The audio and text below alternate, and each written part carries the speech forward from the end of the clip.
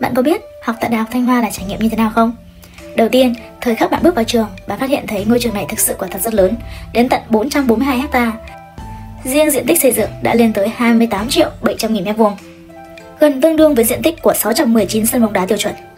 Những người không quen với môi trường này thậm chí phải sử dụng đến phần mềm định vị mới có thể trở về ký túc xá của mình.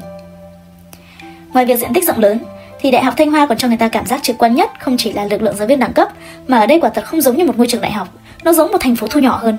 Trong trường học không chỉ có ngân hàng, bưu điện, tiệm thuốc, bệnh viện, thậm chí còn có cả chợ. Nói tóm lại, nó vô cùng giàu có. Vậy tại sao Đại học Thanh Hoa lại giàu có đến như vậy? Theo báo cáo, khoản trợ cấp tài chính hàng năm của Đại học Thanh Hoa lên tới 41 tỷ nhân dân tệ. Số tiền này đủ để chiêu đãi người dân cả nước ăn hai suất cơm móng giò thượng hạng. Ngoài cơ sở vật chất phần cứng như bệnh viện, ngân hàng, thì Thanh Hoa còn có trường mẫu giáo, tiểu học và trung học trực thuộc.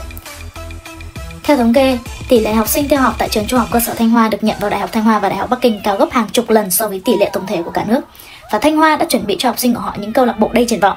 Ví dụ, tiết học thể chất của các bạn có thể được học những môn học như đấu kiếm, bắn cung hay chèo thuyền. Nói tóm lại, Đại học Thanh Hoa về mặt tổng thể tương đương với mục tiêu cao nhất của các sinh viên khoa học trong nước, có công nghệ sản xuất ô tô tốt nhất của quốc gia cũng như các công nghệ khoa học phát triển tiên tiến khác. Không chỉ đóng góp từng viên gạch cho ngành công nghiệp nặng, ngành công nghiệp sản xuất ô tô của nước nhà, mà còn là một phần không thể thiếu trong kỹ thuật quân sự của đất nước. Vì vậy, nếu bạn có thể thi vào trường đại học Thanh Hoa, ngoài việc cả dòng họ của bạn được vẻ vang, thì bạn cũng đang gánh vác trách nhiệm thực hiện sứ mệnh phục hưng của người dân Trung Quốc. Vậy bạn có biết nếu được nhận vào Đại học Bắc Kinh thì cảm giác sẽ thế nào không? Trước hết, Đại học Bắc Kinh cũng giống như Đại học Thanh Hoa, cũng rộng lớn đến mức đáng kinh ngạc.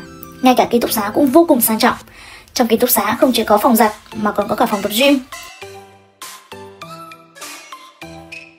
Là một người sành ăn, bạn chắc hẳn sẽ rất thích tám căn tin lớn của Đại học Bắc Kinh, nơi phục vụ 8 nhóm món ăn chính của Trung Quốc cũng như các món ăn trong và ngoài nước khác, mà giá cả lại rẻ đến bất ngờ. Quan trọng nhất là Đại học Bắc Kinh giống như Đại học Thanh Hoa, lên lớp không cần điểm danh.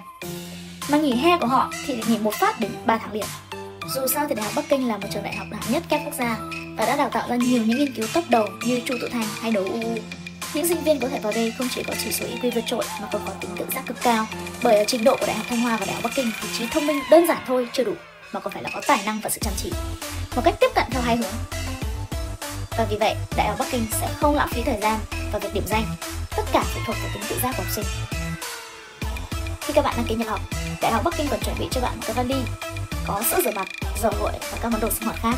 Nếu gia đình bạn thực sự khó khăn, vậy Đại học Bắc Kinh còn chăm sóc cho lòng tự trọng của bạn một cách cực kỳ khéo léo.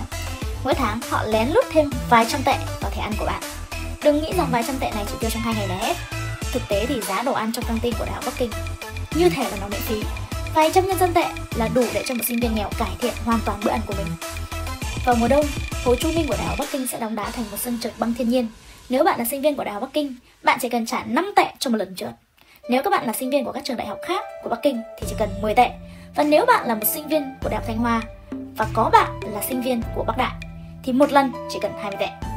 Quả thật là quá rẻ đi. Bắc Đại là một trường đại học thuộc top đầu hàng trăm năm nay, là trung tâm văn hóa thể dục thể thao mới, không những là ước mơ của sinh viên khoa học hiện đại mà còn là nơi thực hiện cải cách xã hội mới của Trung Quốc.